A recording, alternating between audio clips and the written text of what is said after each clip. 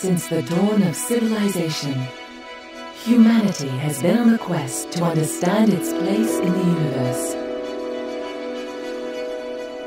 It is dilemma and paradox that drives innovation.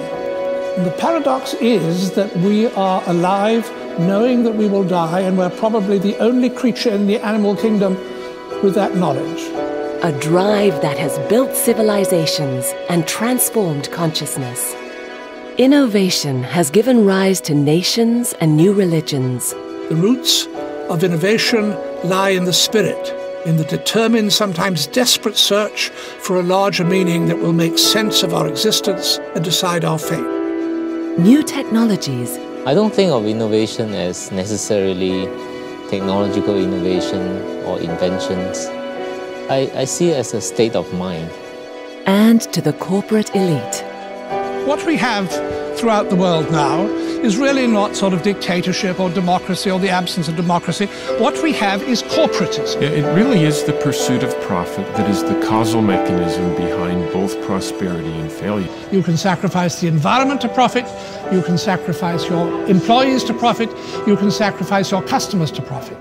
Unless we come back to the immortality each one of us is, is seeking through our innovation, we're dead in the water. It's impossible to achieve business success without a high level of creativity, without a high level of innovation. It's a very contemporary and ageless idea. Innovation is what defines the life of countries and the lives of companies. Singapore was a malaria infested swamp. Here, it's been contrived. This sand here has been brought in from somewhere else. It's been dumped here. It's been artificially created. And this raises a fascinating problem.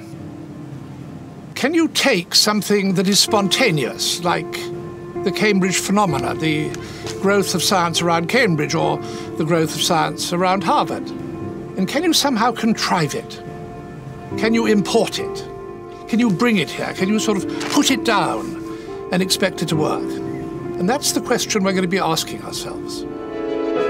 Join Dr. Charles Hampden-Turner on a unique odyssey through time in an exploration of the human condition and our need to innovate. What we have in the world are not conventional economics. It is a giant learning system where the people who learn fastest are going to be most influential. But they'll only be influential by teaching others. It's not a finite game with winners and losers. It's an infinite game, an infinite game where you teach others better plays, where you improve the game itself, where you spread best practice. Innovation and the fate of nations. If you want to have a life, and if you want to have it more abundantly, then innovate and create.